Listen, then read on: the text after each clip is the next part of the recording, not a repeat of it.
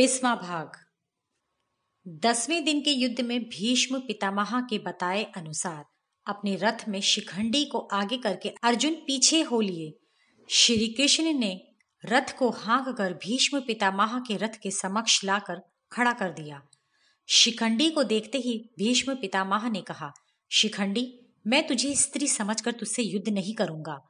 इसके उत्तर में शिखंडी बोला, हे भीष्म तुम्हें मारने के लिए मैंने दो बार जन्म लेकर तपस्या की है। आज मेरे प्रतिशोध का उचित अवसर आ गया है। आज मेरे हाथों से तुझे कोई नहीं बचा सकता। शिखंडी ने भीष्म पर बाणों की बौछार कर दी, किंतु भीष्म पितामह पर उसके बाणों का कुछ भी प्रभाव नहीं पड़ रहा था। शिखंडी के तीर भीष्म के कवच से टकरा कर गिर जाते थे, उसको भेद नहीं पाते थे, इसलिए भीष्म अपनी प्रतिज्ञा के चलते उसके तीरों को ना तो काटते और ना ही शिखंडी पर वार करते थे। जब शिखंडी भीष्म पितामह पर बाण चलाते चलाते थकने लगा तो श्री कृष्ण ने अर्जुन से कहा, हे पार्थ, भीष्म, इस शिखंडी के बाणों से कभी भी नहीं मर सकते। तुम अपना बाण चलाओ, क्योंकि उनका वध तुम्हारे ही बाणों से हो सकता है। श्री कृष्ण के इस प्रकार कहने पर अर्जुन ने भीष्म पितामह पर बाणों की वर्षा करनी आरंभ कर दी। अर्जुन और शिखंडी के बाणों का रंग एक था, इसलिए शिखंडी के बाण भीष्म के कवच से टकराकर नीचे गिर रहे थे और अर्जुन के बाण से भीष्म व्याकुल हो रहे थे। संध्या काल तक वे अर्जुन के बाणों को सहते रहे और अंत में धराशायी होकर भूमि पर पीठ के बल गिर पड़े। पीठ में लगे बाणों ने भीष्म पितामह के लिए शरशैया अर्थात तीरों के बिस्तर का निर्माण कर दिया। भीष्म के इस प्रकार धराशायी होते ही उस दिन की युद्ध की समाप्ति की घोषणा कर दी गई और दोनों पक्षों के लोगों ने उन्हें घेर लिया। उन सभी के आने पर भीष्म ने उन्हें संबोधित करते हुए कहा, हे महारथियों, इस समय आप सभी को अपने समक्ष देखकर मुझे बड़ी प्रसन्नता हो रही है। मेरी मृत्यु का अवसर आ चुका है, किंतु अभी सूर्यदेव के दक्षिणायन में होने के कारण मैं मृत्यु का वरण नहीं करूँगा। जब सूर्यदेव उत्तरायण में आएँगे, तब ही मैं मृत्यु को अपने पास आने की स्वीकृति दूँगा। इस समय इस शरशैया से मेरा मस्तक पीछे लटक रहा है। अतः आप लोग मेरे लिए तकिए का प्रबंध करो। भीष्म पितामह की बात सुनकर दुर्योधन ने तत्काल एक उत्तम तकिया मंगवा लिया। उस तकिया को देखकर भीष्म पितामह ने हँसते हुए कहा, दुर्योधन, क्या तुम्हारा लाया तकिया इस वीर शैया के योग्य है? यह सुनकर अर्जुन ने तुरंत तीन बाण चलाए और उन बाणों की नोक पर पितामह का सिर रख दिया। इस प्रकार उनके लिए उपयुक्त तकिया बना दिया। उस तकिया से संतुष्ट होने के बाद भीष्म ने पीने के लिए जल का आग्रह किया। इस पर दुर्योधन ने अपने अनुचर को स्वर्ण पात्र में जल लाने का आदेश दिया। किंतु तत्काल ही अर्जुन ने फिर भीष्म पितामह के पास की भूमि पर एक बाण चला दिया।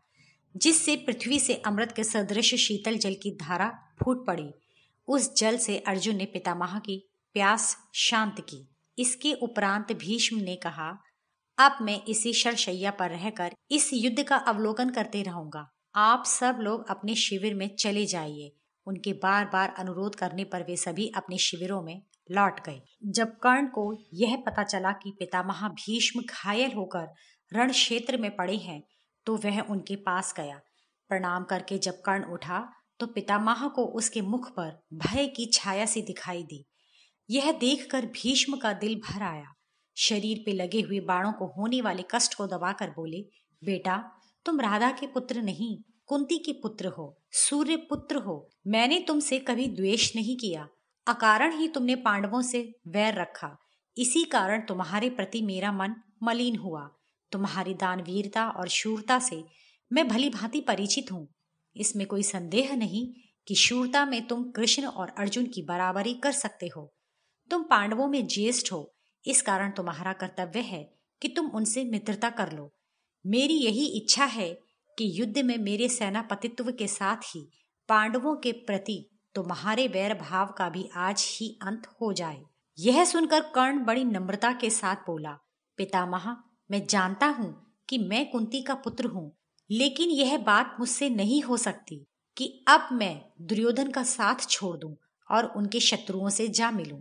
मेरा कर्तव्य यही है कि मैं दुर्योधन के ही पक्ष में रहकर युद्ध करूँ। आप कृपया मुझे इस बात की अनुमति दें कि मैं दुर्योधन की तरफ़ से लड़ूं।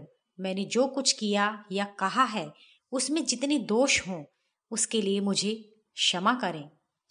कर्ण का कथन भीष्म बड़े ध्यान से सुनते रहे। उसके बाद बोले, जो तुम्हारी इच्छा हो, वही करो। भीष्म पितामह से आशीष पाकर कर्ण बहुत प्रसन्न हुआ। कर्ण को देखते ही दुर्योधन आनंद के मारे फूल उठा। भीष्म के विछोह का जो दुख उसके लिए असहनीय सा प्रतीत हो रहा था, अब कर्ण के आ जाने पर किसी तरह उसे भूल जाना उसके लिए संभव मालूम होने लगा। दसवें दिन के युद्ध के पश्चात दुर्योधन और कर्ण इस बारे में सोच विचार करने लगे कि अब सेनापति किसे बनाया जाए। विचार विमर्श के पश्चात द्रोणाचार्य का सेनापति पद पर अभिषेक हुआ। द्रोणाचार्य ने पाँच दिन तक कौरवों की सेना का संचालन करते हुए घोर युद्ध किया।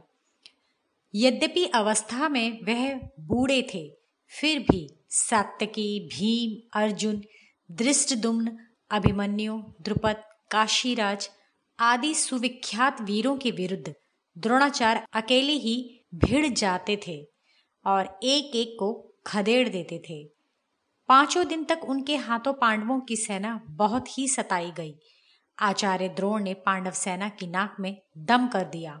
द्रोणाचार्य के सेनापतित्व ग्रहण करने के बाद दुर्योधन, कर्ण और दुशासन तीनों ने आपस में सलाह करके एक योजना बनाई। उसके अनुसार दुर्योधन आचार्य के पास जाकर बोला, आचार्य, किसी भी उपाय से आप युधिष्ठर को जीवित ही पकड़कर हमारे हवाले कर सकें तो बड़ा ही उत्तम हो। दुर्योधन का उद्देश्य तो कुछ और ही था। दुर्योधन को यह भी पता चल गया था कि युधिष्ठर का वध करने से कोई लाभ नहीं हो सकता।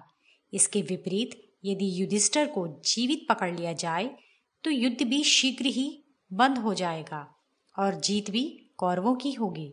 थोड़ा राज्य युधिष्ठर को दे देने का बहाना करना होगा, सो वह कर देंगे और फिर बाद में जुआ खेल कर सहज ही, मैं उससे सारा राज्य छीन भी लेंगे। इन्हीं सब विचारों से प्रेरित होकर दुर्योधन ने द्रोणाचार्य से युधिष्ठर को जीवित पकड़ लाने का अनुरोध किया था। लेकिन द्रोण को जब दुर्योधन के असली उद्देश्य का पता चला तो वह बहुत उदास हो गए इससे उनके मन में दुर्योधन के प्रति तीव्र घृणा उत्पन्न हो गई। मन ही मन यह सोचकर उन्होंने संतोष कर लिया कि युधिष्ठिर के प्राण न लेने का कोई न कोई बहाना तो मिल ही गया। पांडव तो द्रोणाचार्य की अद्वितीय शूरता और शस्त्र विद्या के अनुपम ज्ञान से भली भांति परिचित ही थे। अतः जब सुना कि द्रोणाचार्य ने युधिष्ठिर को पकड़ने का निश्चय ही नहीं किया, बल्कि प्रतिज्ञा भी की है तो वे भी भयभीत हो गए। सबको यही चिंता रहने लगी कि किसी भी तरह युधिष्ठिर की रक्षा का पूरा पूरा प्रबंध किया जाए। द्रोण ने अपने सारथी को आज्ञा दी कि रथ को उस ओर ले चलो, जिधर युधिष्ठिर युद्ध कर रहे हों। युधिष्ठिर संभले। इससे पहले ही द्रोणाचार्य वेग से उनके निकट जा पहुँचे।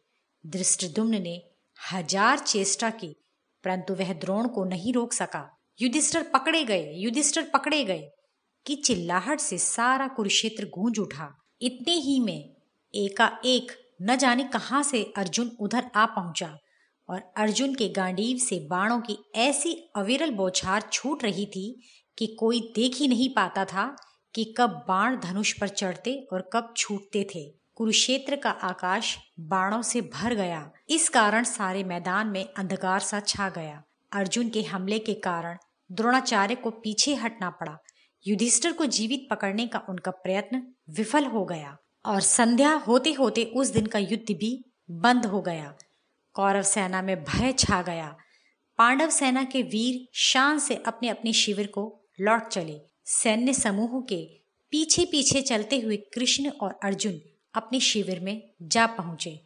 इस प्रकार ग्यारहवें दिन का युद्ध समाप्त हुआ। युधिष्ठिर को जीवित पकड़ने की चेष्टा के विफल हो जाने पर अंत में यही निश्चय किया गया कि अर्जुन को युद्ध के लिए ललकारा जाए और लड़ते लड़ते उसे युधिष्ठिर से दूर हटाकर ले जाया जाए। युद्ध का बारहवा दिन था। बहुत ही भयानक लड़ाई हो रही थी। आचार्य द्रोण ने युधिष्ठिर को जीवित पकड़ने की कई बार चेष्टा की, पर असफल रहे। भगदत्त के हाथी ने भीमसेन को मार दिया यह शोर सुनकर युधिष्ठर ने भी विश्वास कर लिया कि भीमसेन सचमुच ही मारा गया होगा। यह सोचकर उन्होंने अपने वीरों को आज्ञा दी कि वे भगदत्त पर हमला करें। इधर युधिष्ठर द्वारा भेजी गई सेना आ पहुँची थी और वृद्ध भगदत्त को चारों तरफ़ से पांडव वीरों ने घेर लिया था। उधर दूर अर्जुन संक्षप्तकों से लड़ रहा था। अर्जुन के पहुँचते ही पांडवों की सेना में नया उत्साह आ गया। हाथी पर सवार भगदत्त ने अर्जुन और श्री कृष्ण दोनों पर ही बाण बरसाने शुरू कर दिए। भगदत्त ने एक तोमर अर्जुन पर चलाया। तोमर अर्जुन के मुकुट पर जा लगा। इससे अर्जुन को बड़ा क्रोध आया। उसने अपना मुकुट संभाल कर रख लिया और बोला, भगदत्त, अब इस संसार को अंतिम बार अच्छी तरह से देख लो। यह कहते कहते अर्जुन ने अपना गांडीव तान लिया। अर्जुन द्वारा छोड़े गए बाणों से भगदत्त का धनुष टूट गया। तरकश का भी यही हाल हुआ। अर्जुन ने भगदत्त के मर्म स्थानों पर भी बाण चलाकर उन्हें छेद डाला। इसके बाद अर्जुन के तेज बाणों से भगदत्त की आँखों के ऊपर बंधी हुई रेशम की पट्टी कट गई, जो उसकी आँखों के ऊपर लटक आने वाली चमड़ी को ऊपर उठाए रखती थी। इससे भगदत्त की आँखें बंद हो गई।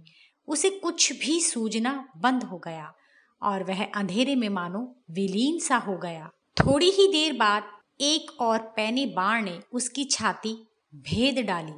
भगदत्त को गिरते हुए देखकर कौरवों की सेना मारे भय के तितर बितर होने लगे। किंतु शकुनी के दो भाई, वृषक और अचक, तब भी विचलित न हुए और जमकर लड़ते रहे। उन दोनों वीरों ने अर्जुन पर आगे और पीछे से बाणों की वर्षा करके खूब परेशान किया। अर्जुन ने थोड़ी देर बाद उन दोनों के रथों को तहस नहस कर दिया और उनकी सेनाओं पर भी भयानक बाण वर्षा की। सिंह शिशुओं के समान वे दोनों भाई अर्जुन के बाणों से घायल होकर गिर पड़े और मृत्यु को प्राप्त हुए। अपने अनुपम वीर भाइयों के मारे जाने पर शकुनी के क्रोध और शोक की सीमा न रही। उसने युद्ध शुरू कर दिया और उन सब उपायों से काम लिया, जिनमें उसे कुशलता प्राप्त थी। परंतु अर्जुन ने उसके एक एक अस्त्र को अपने जवाबी अस्त्रों से काट डाला। अंत में अर्जुन के बाणों से शकुनी ऐसा आहत हुआ कि उसे युद्ध क्षेत्र से हट जाना पड़ा। इसके बाद तो पांडवों की सेना, द्रोणाचार्य की सेना पर टूट पड़ी। असंख्य वीर न रहे, खून की नदियाँ बहने लगी। थोड़ी देर बाद सूर्य अस्त हुआ। अपनी सेना का यह हाल देखकर द्रोणाचार्य ने लड़ाई बंद कर दी। दोनों पक्षों की सेनाएँ अपने अपने डेरे को चल दी और इस प्रकार बारहवें दिन का युद्ध समाप्त हुआ। अगर आप कुछ और सुनना चाहते हैं तो प्लीज़ मुझे कमेंट ज़रूर कीजिए और मेरे वीडियो को लाइक कीजिए, शेयर कीजिए और सब्सक्राइब कीजिए। Thank you.